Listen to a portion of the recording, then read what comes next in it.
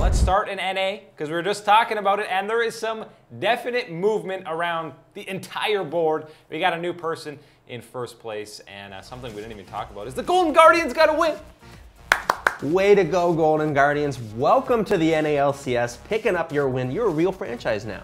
They're still 10th, but uh, you got to win, so you got to one on there. So You can't put the cart in front of the horse. You got to pick up that one win. Start building it up, baby. congratulations. They're just going to rock the Alawi top lane all the way to finals. That was pretty nasty. Lourlo looked good on that. Congrats to Hai and the boys on their first win.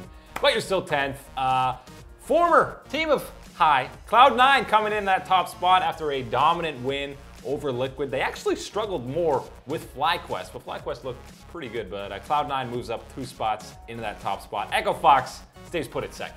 Yeah, and I think that you you can't argue with these two spots. These definitely have to be the two teams that you're putting up at top. And I think when you talk about them, Cloud9 for me has to be the one that you're just just edging out from the, what we've seen of them. Their actual production has been arguably the most dominant and clean games as a whole. For, Even though Echo Fox beat Cloud9. Right, even though Echo Fox and and Echo Fox and you know teams like Team Liquid have smashed and have some of the shortest game times.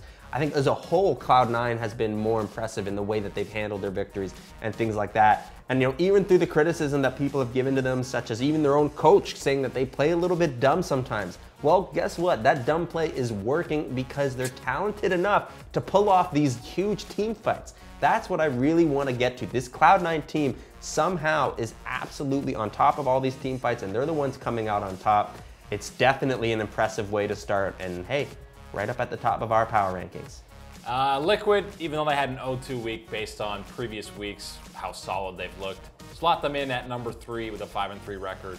Uh, TSM continues their slow, steady climb. Uh, they should have beat Clutch if you could outsmite an Ezreal Q. Yeah, but, if it, uh, if it wasn't for Apollo and it wasn't for some questionable thinking from MikeYeung, as we said, it happens. It happens. You you know, blow it off, get to the next match, get ready to smite it, and, and not lose out there. But those were some uh, rough, rough matches, rough match there for TSM against Clutch Gaming to give away after that level one the advantages you had. But TSM has shown their improvements, and they are continuing to make strides in in ironing out their communication issues and definitely a team that is getting stronger and you have to start thinking that they're going to be making this push towards the playoffs where anything can happen. Clutch Gaming has shown, I think, in this past week that it isn't all just the Febiven show. Yes, it has to be Febiven performing and being the main guy for them as we've seen, but other people can step up, and surely it was not Lira on the Skarner stepping up, it was Apollo on the Ezreal stepping up. Really great performance this week from him, and I think that Clutch Gaming can improve as a whole, improve themselves as a playoff team as we approach this halfway point in the season. And then as you last look into kind of this mid-range pack, I think FlyQuest for me has to be that team that might secure that last playoff spot. I think especially with Fly in the mid lane, and if they can rock Anda in the jungle, I think that is No their more best. shrimp, man. I yeah, shrimp. Sorry, you're out of here, buddy. No more shrimp cocktail, Gonzo.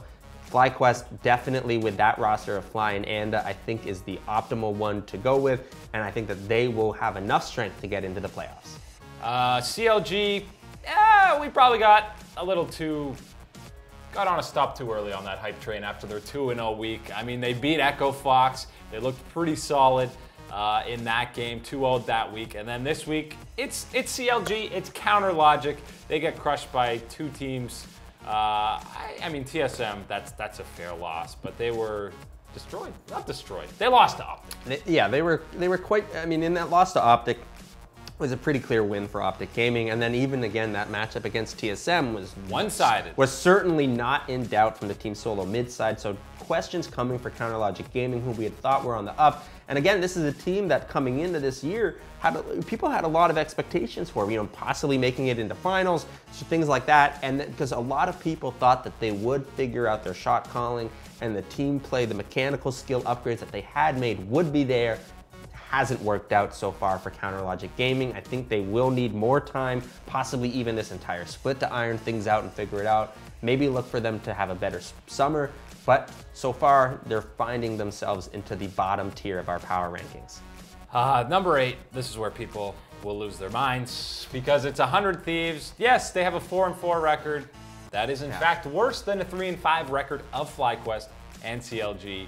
But when you lose to the Golden Guardians and give them their first win of the split, you know you're gonna get knocked down a peg on the standings. They also dropped a team to fly, a game to FlyQuest, who were below them in the standings.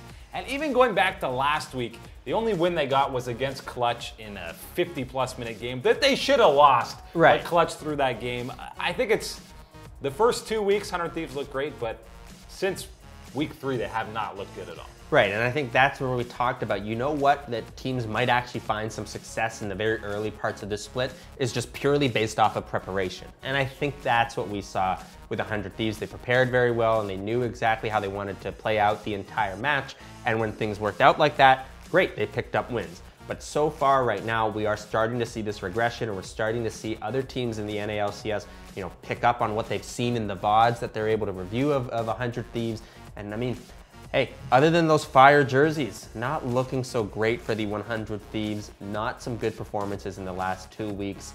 Uh, you're gonna have to really start questioning them because you know you're looking in that bot lane, and I remember hearing an interview of Cody Sun saying, "Hey, playing with Aphromoo is great. It's like playing with a get out of jail free card." Only problem is Cody is needing to cash in that get out of jail free card almost every minute. So it's just not good enough, not a good enough performance from him in the bot lane, especially now where you need that carry to perform. There's only two get out of jail free cards in the decks in Monopoly, man. There's a community chest one and a chance one. You can only use two a game. Yeah, and even with the Aphromoo special giving you that third one, not enough for a Cody Sun, given the way he's playing and frontlining as a Kog'Maw. Oh my God. Yuck. Uh, we wanted to move you up a spot, Golden Guardians. You got the big win. You got the big W, but you're gonna need to do a few more. Soon enough.